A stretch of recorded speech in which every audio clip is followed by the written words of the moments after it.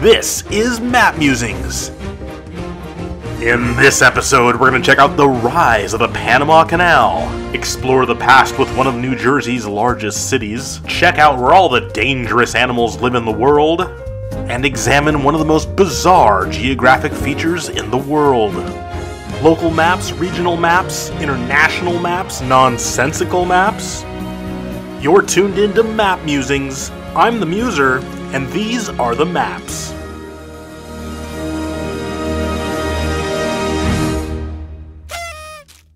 Don't forget to like, subscribe, and comment below. Thank you.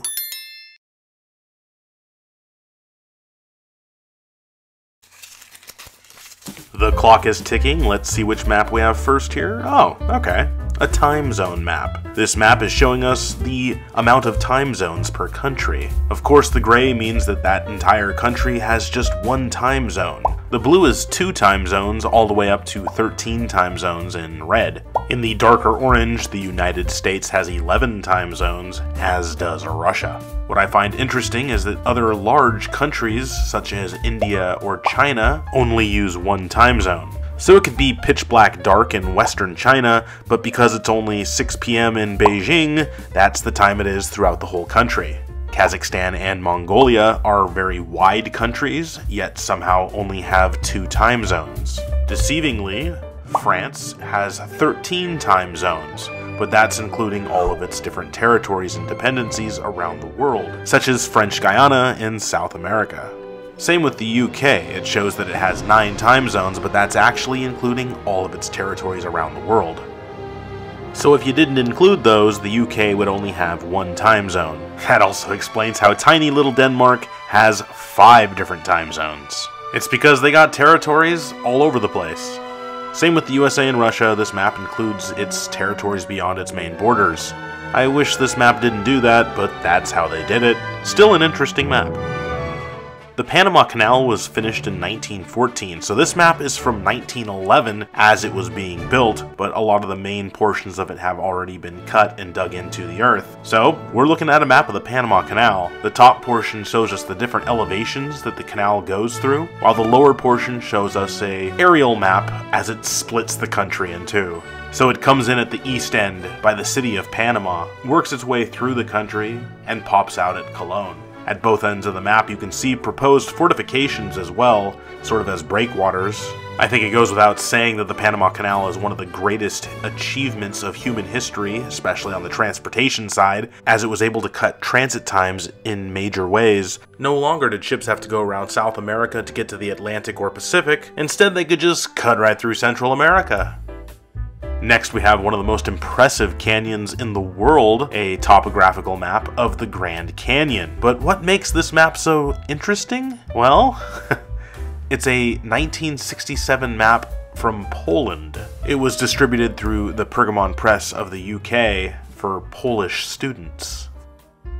This map shows us data collected from 2021 to 2022 and shows us the biggest sources of electricity by country in Europe. At the very bottom it shows that Europe as a whole gets the majority of its power from nuclear, followed by natural gas, coal, hydroelectric, wind, then solar. But if we decide to look at it a little different by country, we can do that as well. Countries such as Germany, Poland, Czechia, Turkey all get the majority of their power from coal, while other countries such as Iceland, Norway, Sweden, Portugal get the majority of their power from hydro. Wind power is mostly for Spain, Denmark, Lithuania. Nuclear power is for Finland, France, Hungary, Slovakia. And some of the major countries remaining on gas for the majority of their power are the Netherlands, the UK, Ireland, Italy, and Greece. Only the small island nation of Cyprus gets the majority of its electricity from oil. For comparison, the majority of the United States' electricity comes from natural gas. An enlightening map. So what color do you think of when thinking of a wedding dress?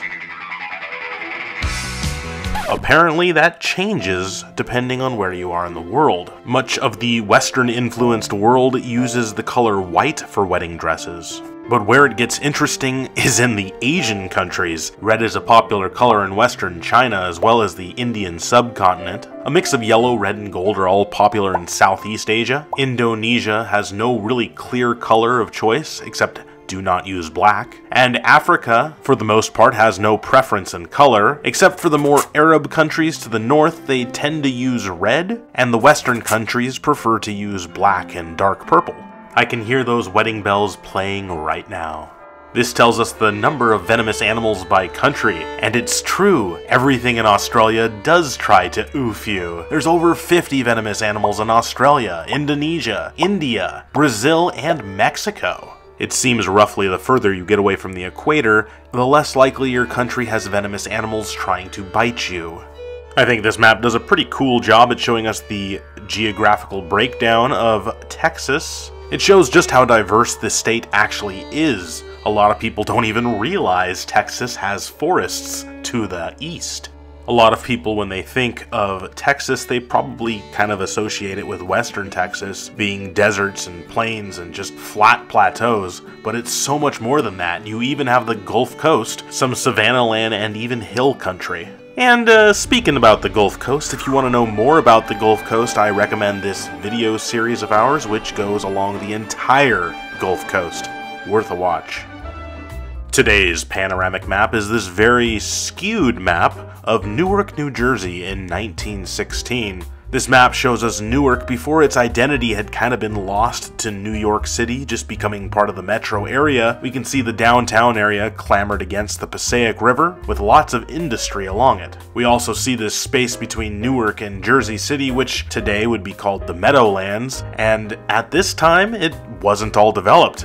Now it's all developed. It sort of just runs along as one big massive city. Further off in the distance, we can see the 1916 skyline of New York City. At the time of this map, the city was nearing its peak population and had a population of about 415,000 people. The city peaked in the 1950s at about 440,000 people before declining rapidly to about 300,000 today. Even back over 100 years ago, though, we can see the city had a web of streets and roads all around it connecting it to the lifeblood of New York City. It's just so weird seeing this region without it all being sprawled out. Elizabeth hasn't grown out as a city. There's no Newark Liberty International Airport between Newark here and the docks you can see in the distance. I mean, technically airports weren't even a thing yet. Nobody even thought about air travel. Heck, the massive South Kearny Yards a railroad depot hasn't even been constructed here yet. It's just so cool seeing a slice of time in these old panoramic maps.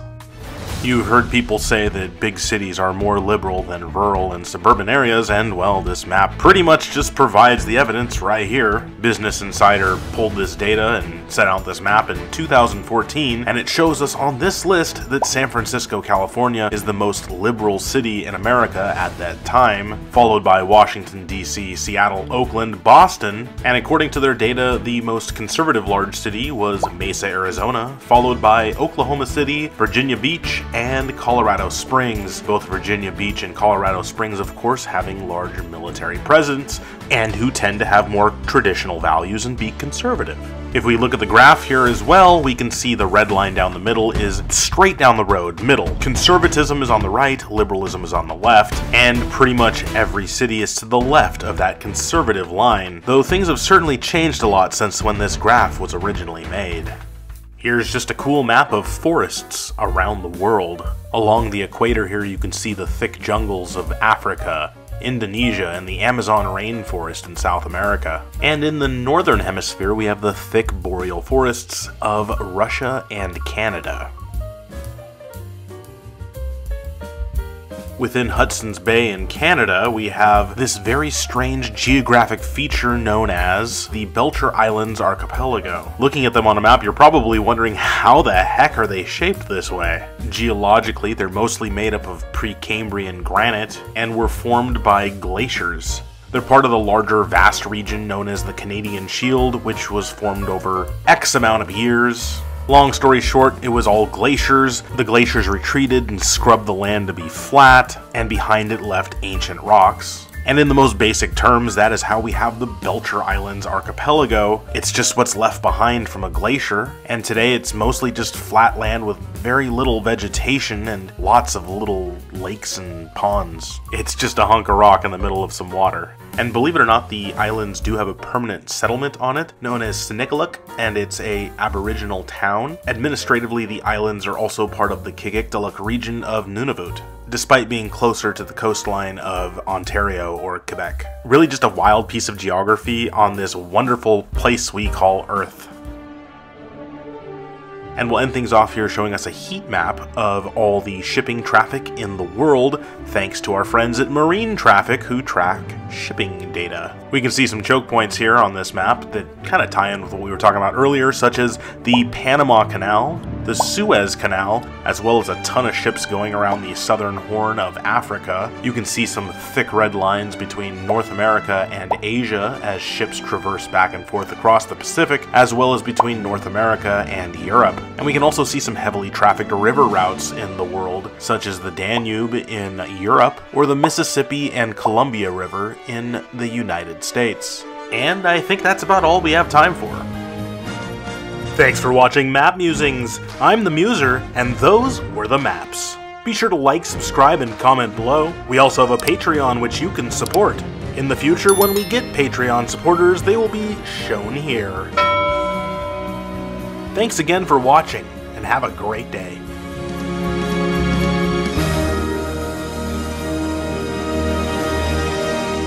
Everything in Australia does try to oof you.